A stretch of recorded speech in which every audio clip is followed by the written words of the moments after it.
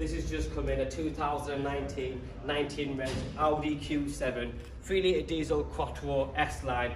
What a beautiful, beautiful looking car.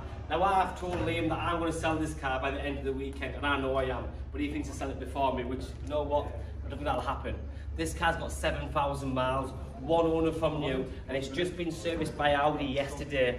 But it's been, I mean, the car looks beautiful. It's got a full black styling pack on it, which is the gloss black wheels, the front grills, the badges, the window surrounds, the roof rails, sun protection glass, everything's black on the car so it looks absolutely brilliant. You've got the half leather interior, half Alcantara in the mid sections, the electric seats with the lumbar support, the flat bottom steering wheel, and they have the full ambient lighting system on the centre dash. But what an up-to-date car, but most importantly, with 7,000 miles on, on a 19 reg. You've got the remainder of the Audi warranty up until 2022. So if anything goes wrong, parts like VAT, for electricals, mechanicals, all sort of major failures, fully protected. An up-to-date car with dynamic rear lights, LED rear lights, a massive boot space, but look at all this, the black badges. Everything's been de-chromed, so it looks so stealthy. I know anybody who wants a seven-seater type 4x4 value for money. Again, it's absolutely stunning. Look at the size of the boot, it's tremendous. Seats go individually, so you can have six seats or seven seats. Obviously the mid-row seats also go down.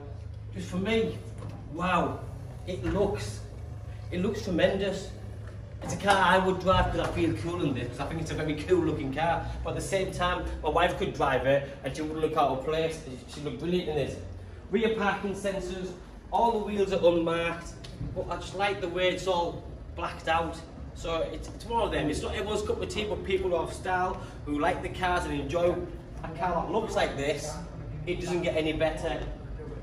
Remember, it's 19 plate, 7,000 miles, just been serviced by Audi, so you don't need to go and spend any more money on it at any time in, in the near future. Push button start. This is always nice, the flat bottom steering wheel. As soon as you start the car, you'll notice the pop-up the DAB navigation system comes up there. You've got your heated seat. You can't see too well right now because obviously the light in the showroom, but all the centre dash and here they light up so well, which looks at night it looks tremendous. I love the short shift gearbox that these have. So drive, reverse, press the P button, it locks it. You've got automatic hold, which I think is tremendous. So at a junction or a traffic light or a roundabout, if your foot's on brake and you're in drive, you can let go the foot brake and the car sits stationary like it is right now. When I hit the acceleration, it'll then move on. It's just so, so clever. You've also got the touchpad here. So you can use the touchpad for the navigation, which is quite clever. And then you've got the cup holders. Chargeable adapter hit down here, what you call charging pad. Put your phone in there and it'll charge up, which is brilliant.